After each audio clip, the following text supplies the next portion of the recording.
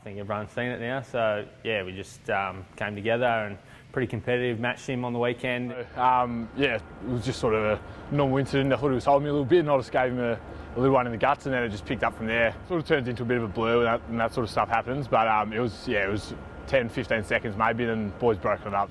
Got a bit carried away, and we um, we came together for a couple of blows, but. Um, shook hands after the game. It is what it is, and that stuff happens. Been happening for years. Nicksy called us up in front of the group after, um, and we had a bit of a laugh about it, explained what happened, um, and shook hands about it. Yeah, it's good competitive, good from Bill, and he came out and played really well after that.